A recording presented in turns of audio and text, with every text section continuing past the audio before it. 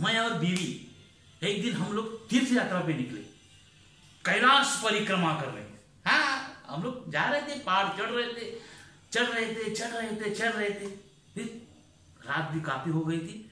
तो मैंने बीबी से कहा, चलो, आज रात हम लोग यहाँ अपना तंबू गाड़ देते हैं। आज रात यही गुजारते सुबह होने के बाद आगे निकल पड़ते तो मेरी बीवी ने कहा, चलो, ठीक है। मैंने अपना तंबू गाड़ दिया।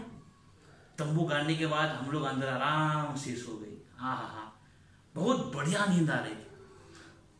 तो काफ़ी रात होने के बाद मेरी बीवी जग गई। और जगने के बाद उसने मुझे ज़ोर ज़ोर से हिला के उठाया। अजी, उठो उठो। तो मैंने कहा, अरे, क्या बात है? क्यों उठा रहे?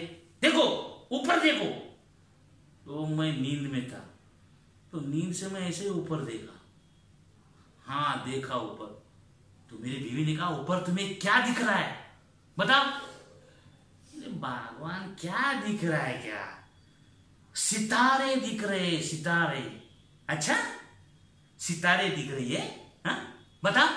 बताओ, वो तुम्हें क्या कह रहे बताओ।